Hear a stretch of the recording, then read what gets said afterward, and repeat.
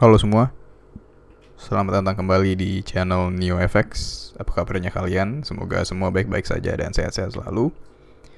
Seperti yang bisa kalian lihat di judul, hari ini kita akan belajar tentang satu strategi yang bisa kalian gunakan di situasi market apa pun itu, mau lagi konsolidasi atau mau lagi trending market. Strategi ini bisa kalian gunakan. Dan yang lebih kerennya lagi, kalian gak butuh indikator apa pun. Oke, okay? even trend line, support dan resistance kalian gak butuh. Oke, jadi sebelum belajar strategi ini, boleh minta waktunya sebentar untuk subscribe channel ini untuk share ke teman-teman kalian juga dan bisa like video ini nyalakan tombol atau lonceng notifikasi supaya kalian bisa dikasih tahu bahwa uh, kalau ada video-video lain di uh, in the in the future oke okay? yang saya janjikan dari video ini adalah setelah kalian menonton video ini kalian akan mengerti tentang price action oke okay, kalian akan bisa menemukan trade opportunities tanpa indikator. Oke, sekali lagi tanpa indikator. Kemudian kemampuan untuk menentukan tren. Kalian bisa tahu apakah market lagi bullish atau lagi bearish. Oke. Dan yang pastinya kemampuan membaca naked chart. Kalian akan mengerti kenapa harga naik dan turun. Oke. Jadi gak usah lagi hafalin pattern kayak apalah itu descending triangle, head and shoulders atau bull flag, bear flag, bull channel, bear channel. Kalian nggak usah hafalin itu. Saya nggak mengajarkan kalian untuk menghafal, tapi lebih ke saya mengajarkan kalian untuk mengerti kenapa harga melakukan ini dan kenapa harga melakukan itu dan kira-kira harga akan ke mana based on price action only. Oke? Okay?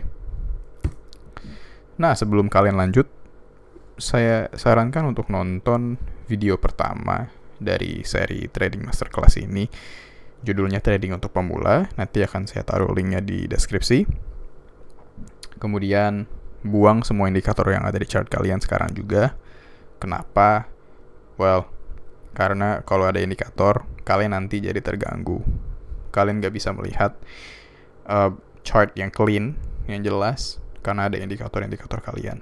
Jadi buang dulu RSI kalian, stochastic, MACD, apa pun itu buang dulu. Kemudian sebelum lanjut, saya akan kasih tahu bahwa video ini sekaligus menjelaskan tentang analisa teknikal. Jadi, kalian gak usah cari lagi di YouTube tentang apalah itu analisa teknikal, karena setelah nonton video ini, saya jamin kalian bisa langsung mengerti tentang intinya analisa teknikal itu apa sih? Analisa teknikal itu cuma untuk menentukan harga naik atau turun kan. Well, setelah video ini, saya jamin kalian bisa menentukan apakah harga akan naik atau turun. Oke, jadi kalau udah siap, boleh keluarin catatan kalian, pulpen, HP, apa-apa apa pun itu untuk dicatat karena video ini akan cukup panjang, tapi saya akan mencoba untuk membuat video ini sesingkat mungkin. Oke, jadi kalau udah siap, langsung aja kita mulai. Sebentar, saya minum dulu.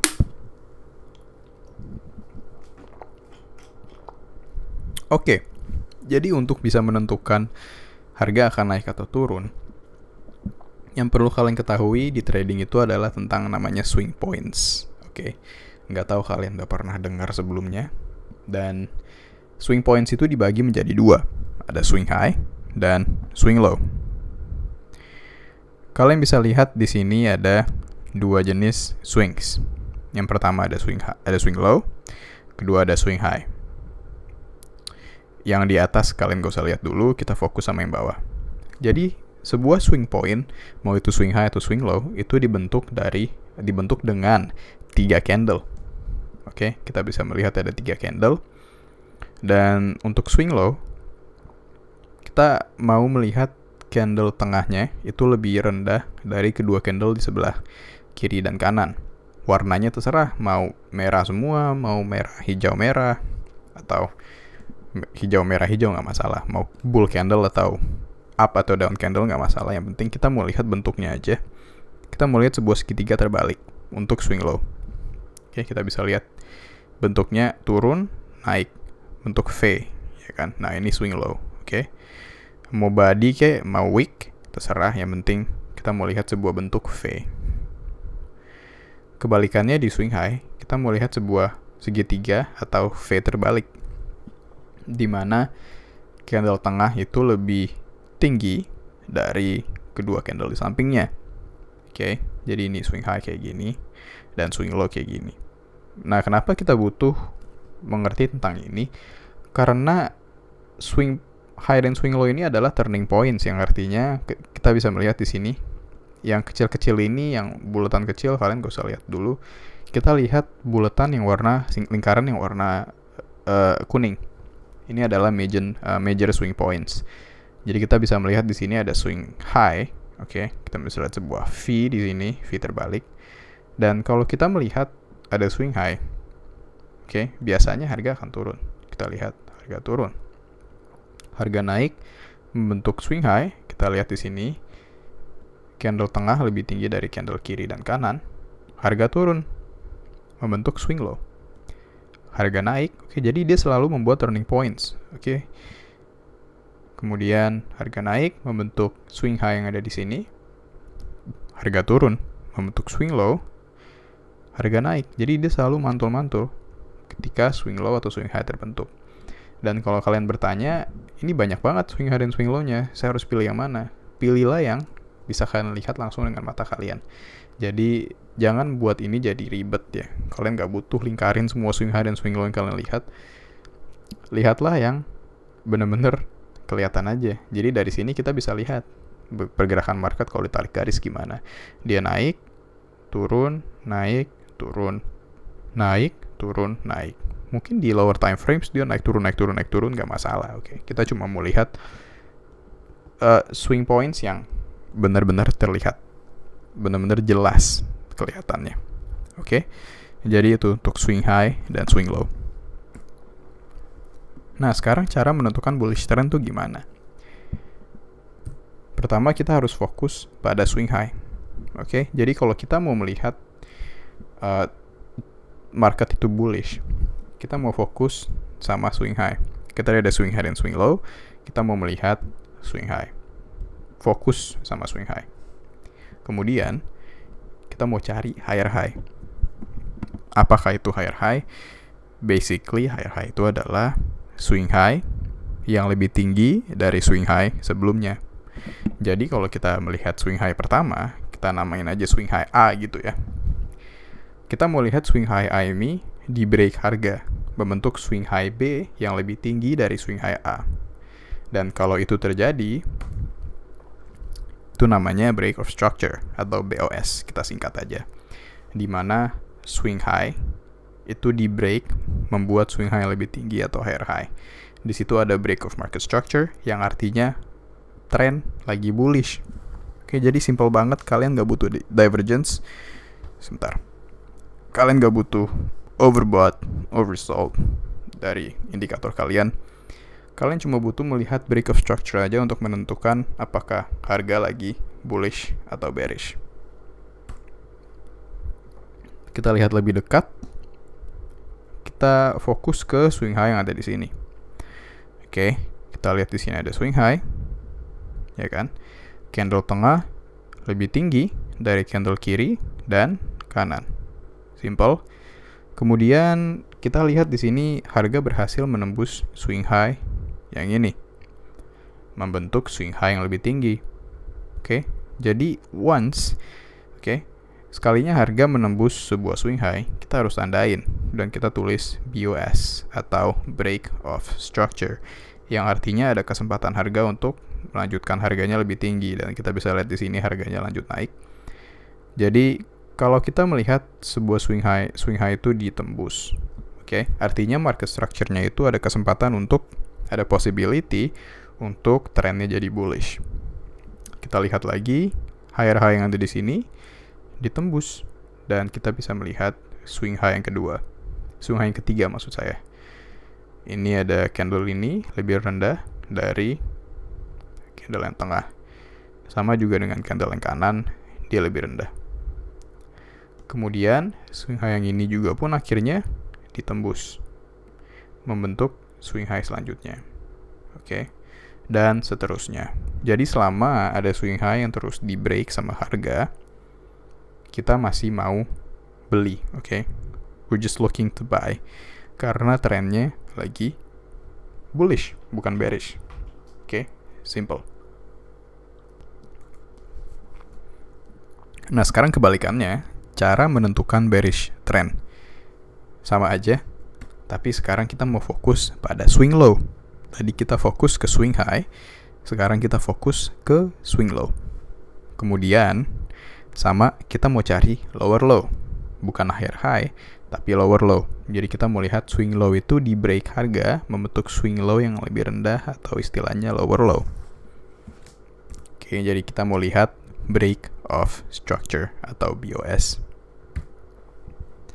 Oke, kita bisa lihat di sini ada swing low. Oke. Swing low berhasil di break. Oke. Membentuk lower low.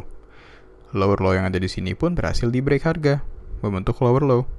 Oke, kemudian di break lagi. Oke, swing low ini di break lagi dan swing low ini juga di break lagi. Oke.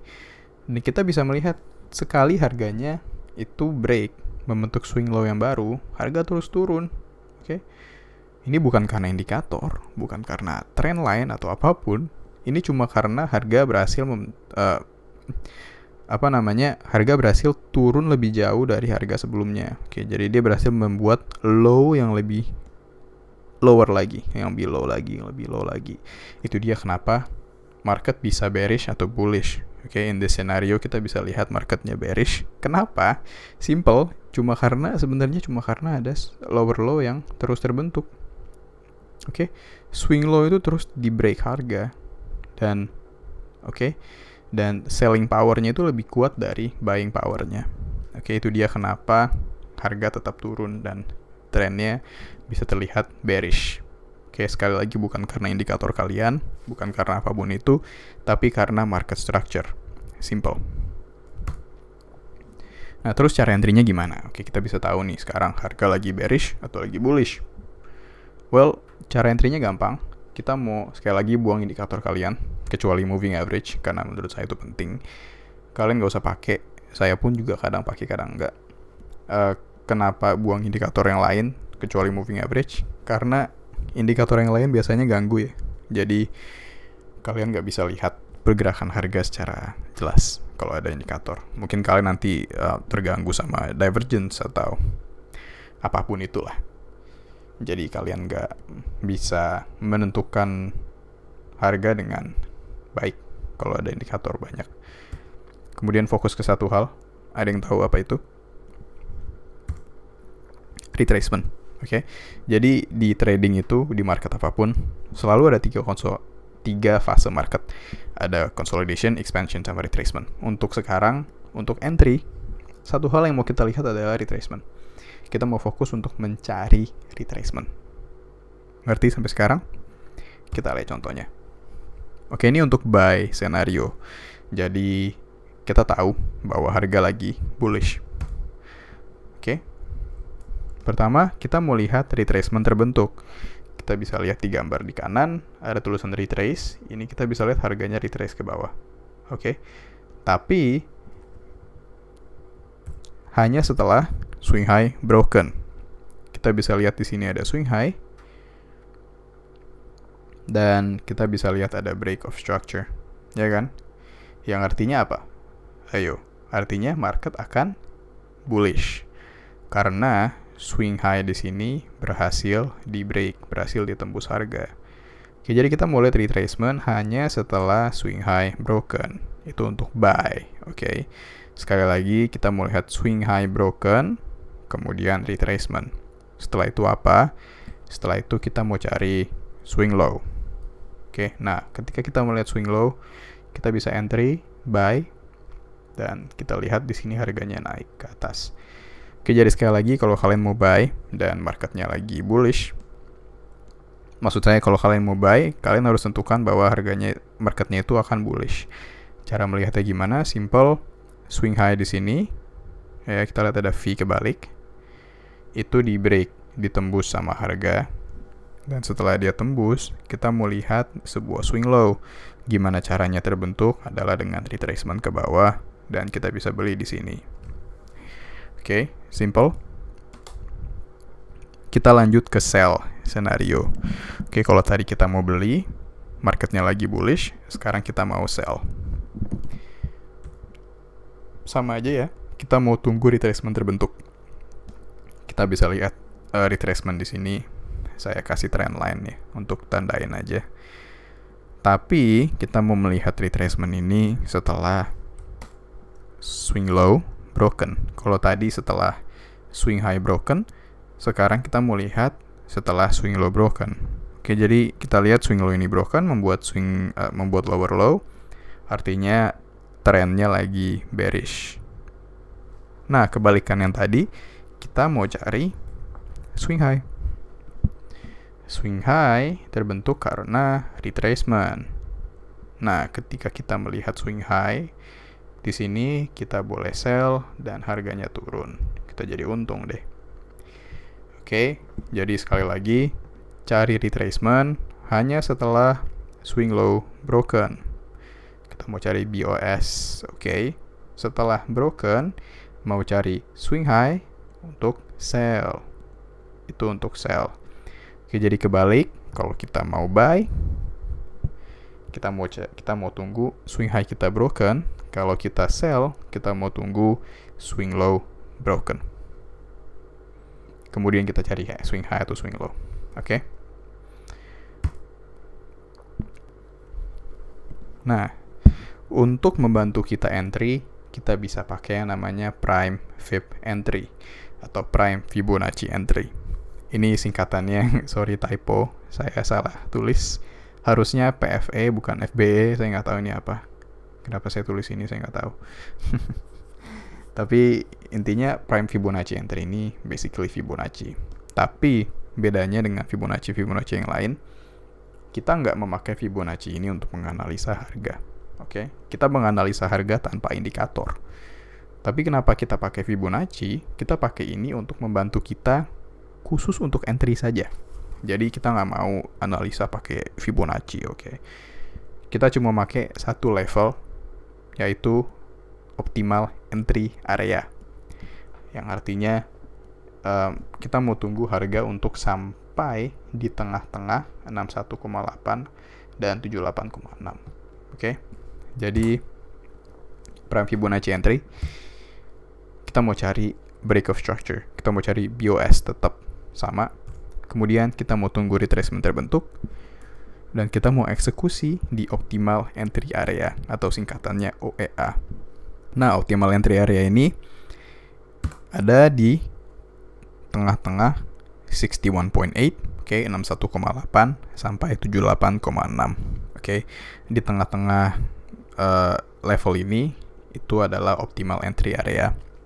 Jadi sekali lagi, kita nggak pakai Fibonacci untuk analisa, kita hanya memakai Fibonacci ini untuk membantu kita entry. Oke, okay? udah ngerti sampai sekarang? Ini contoh uh, PFE untuk sell. Oke, okay? jadi kita bisa lihat di sini ada expansion, kemudian membentuk swing low. Oke, okay? dan di sini kita bisa melihat BOS, BOS yang artinya swing low ini berhasil ditembus harga. Nah, berarti ini konfirmasi bahwa trennya akan bearish. Nah, next, setelah kita melihat BOS, apa tadi? Kita mau tunggu retracement. Retracement terbentuk, kita mau cari apa? Swing high.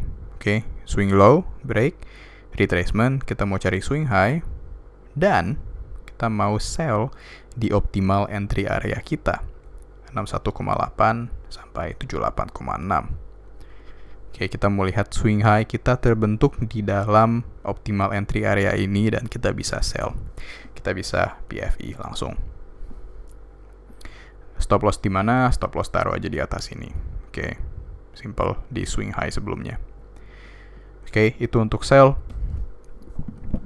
Sekarang lanjut ke buy, sama aja. Tetap kita mau cari apa? BOS. Kita mau cari swing high di break harga, oke. Okay. Expand membentuk swing high, V kebalik. Swing high tersebut di break harga. Oke. Okay. Kemudian persis kita mau cari retracement. Kita mau cari swing low untuk kita eksekusi dan kita mau lihat swing low tersebut terbentuk di dalam PFI kita. maksud saya optimal entry area kita. Oke, 61,8 sampai 78,6. Dan di sini kita bisa melakukan PFE. Kita bisa buy, stop loss di bawah, dan harganya naik. Sekarang saya akan kasih contoh trade entry di long dan short. Tapi sebelum mulai, boleh minum air dulu. Saya juga mau minum air. Oke, kemudian ambil catatan kalian. Hmm. Boleh buku, apa pun itu, HP, apa pun itu. Dan kalian harus fokus. Kenapa? Karena kita akan melihat uh, entry di chart langsung ya kita akan kita nggak lihat garis lagi tapi kita akan belajar dari candlestick chart yang asli live live price oke okay? live chart jadi kalau kalian bingung boleh pause video nanti untuk belajar. Bisa pause diulang-ulang juga terserah. Tapi intinya saya minta kalian untuk fokus. Oke jadi kalau kalian udah siap langsung aja kita mulai. Oke kita sekarang melihat uh, chart pound dollar. Oke. Dan kita bisa lihat bahwa harga lagi apa. Bearish. Oke kelihatan banget ya. Banyak lower low yang terbentuk. Nah kalian bisa lihat gak kita bisa PFE di mana kita bisa entry di mana kalau nggak jelas saya akan close up dikit oke bisa lihat kira-kira kita bisa entry di mana boleh pause videonya karena saya akan kasih anotasi sebentar lagi oke kalau udah, ini kesempatan kalian untuk belajar sendiri. Jadi, kalau udah, saya akan kasih garis-garisnya lah. Udah siap? 3, 2, 1. Oke. Konsepnya sama, tapi di candlestick. Yang mungkin lebih ribet untuk dilihat, tapi nggak apa-apa. Um, kita lihat di sini ada swing low. Oke, ada V. Kemudian persis seperti tadi kita mau lihat swing low ini di break. Oke. Okay. Break. Harga berhasil menembus membentuk lower low. Setelah itu apa? Kita mau lihat retracement ke atas. Oke. Okay. Swing low di break membentuk lower low, retracement dan kita mau cari swing high karena kita mau sell. Kenapa kita mau sell? Karena ini konfirmasi bahwa harga akan turun. Harga akan bearish. Setelah swing low ini di break, berarti harga akan bearish. Dan kita mau lihat swing high kita terbentuk di optimal entry area kita dan kita bisa PFE di sini. Kalau kita taruh Fibonacci kita, kelihatannya begini. Oke, kita mau tarik Fibonacci kita dari atas swing low kita ke lower low yang melewati swing low sebelumnya. Oke, jadi swing high, oke, asal dari swing ini, asal expansion ini, kita tarik Fibonacci kita dari atas ke bawah. Oke. Atas ke bawah. Kalau mau sell, atas ke bawah. Kalau mau buy, bawah ke atas. Oke, kita mau tarik dari atas swing high, turun sampai dengan swing low kita di sini. Dan kita mau lihat retracement untuk dia masuk ke optimal entry area kita membentuk swing high 61,8 sampai 78,6 kemudian kita bisa sell di sini. Stop loss taruh di atas swing high sini oke okay, kasih satu atau dua pip lebih tinggi. Kemudian kita bisa lihat harga langsung. Boom! Wah expansion yang kuat sekali. Kita bisa lihat di sini langsung engulf dia harganya. Oke, ini oke okay, trade seperti ini yang bisa yang mau kita lihat. Oke okay, bukan penurunan yang lemah gini. No kita mau lihat trade yang seperti ini. Oke okay? ini expansion yang kuat banget. Oke okay, dan kita bisa take take profit di sini atau lebih rendah lagi okay? simple uh, swing low di break lower low retrace masuk ke optimal entry area kemudian kita bisa PFE dan boom profit Next, kita akan melihat senario untuk buy. Oke, okay. ini di pasangan dolar yen. Oke, okay. akhir-akhir ini uh, dolar yen lagi bullish, jadi saya ambil dolar yen untuk sebagai contoh. Sama seperti tadi, saya akan kasih waktu ke kalian untuk analisa sendiri, baru saya nanti kasih anotasinya. Boleh pause video ini kalau udah Siap, udah belajar sendiri. Kita lanjut, oke? Okay? 3 2 1. Sip, kita bisa melihat jelas banget ya. Ada swing high di sini yang berhasil di break harga. Artinya, swing high di sini di break membentuk higher high, artinya market akan naik. Oke. Okay? Market akan membuat bullish trend. Kemudian dia turun, oke. Okay? Membentuk swing low. Oke, okay, dia retrace dan kita mau cari swing low terbentuk di dalam optimal entry area kita dan kita bisa PFI di sini. Oke. Okay. Ini apa? Garis oranye. Ini basically ada dua swing high ya yang di break dan kita bisa melihat di sini candlenya engulfing. Berarti ini sangat kuat ya. Dan ini basically liquidity ya namanya. Nanti saya akan jelaskan di video-video selanjutnya apa itu liquidity, tapi sekarang yang perlu kalian fokus adalah boss higher high turun swing low masuk di optimal entry area dan kita eksekusi di sini. Kalau ada Fibonacci-nya jadinya seperti ini kelihatannya. Oke, kalau tadi kita tarik Fibonacci kita dari atas ke bawah, sekarang kita mau tarik dari bawah ke atas. Dari swing low yang di sini, kenapa kita tariknya swing low yang di sini, nggak yang di sini atau yang nggak di sini? Karena kita lihat pergerakan harga, oke, okay, expansion ini itu asalnya di swing low yang ini, ya kan? Expansion ini itulah yang melewati swing high yang ada di sini. Jadi kita mau tarik Fibonacci kita dari bawah, karena kita mau buy, tarik sampai swing high yang ada di atas. Oke, okay, simple. Tarik sampai di atas, kita tunggu kemudian harganya retrace, masuk membentuk swing low di optimal entry area kita, dan di sini kita bisa PFE. Dan boom, sekali lagi kita melihat, wah ini buying powernya kuat banget ya. Ini yang mau kita lihat seperti ini trade-nya. Oke. Okay. Pure bull candle aja dan kita bisa take profit di higher high di sini atau lebih tinggi lagi. Kalau di sebelah kiri uh, kita bisa melihat high yang lebih penting, tapi untuk uh, chart ini mungkin kalian bisa take profit di sini atau lebih tinggi lagi dikit lah. Oke, jadi simple untuk buy. Kenapa kita mau buy? Sekali lagi karena ada break of market structure, ada swing high yang di break, kemudian harga retrace masuk ke optimal entry area kita taruh swing taruh uh, stop loss kita di bawah sini di bawah swing low ini. Dan kita bisa eksekusi di optimal entry area. Dan boom profit. Oke okay, itu aja untuk video hari ini. Next lecture kita akan belajar tentang market hours. Oke. Okay?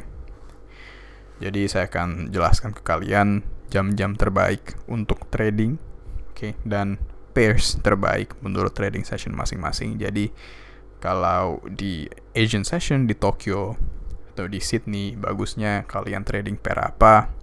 Kalau di London atau Frankfurt Oke, di sesi Eropa baiknya trading apa dan di New York session baiknya trading apa. Dan saya akan menjelaskan karakteristik mereka masing-masing. Jadi jangan lupa untuk menyalahkan uh, tombol notifikasi supaya kalian gak ketinggalan. Buat yang ingin bertanya, boleh email.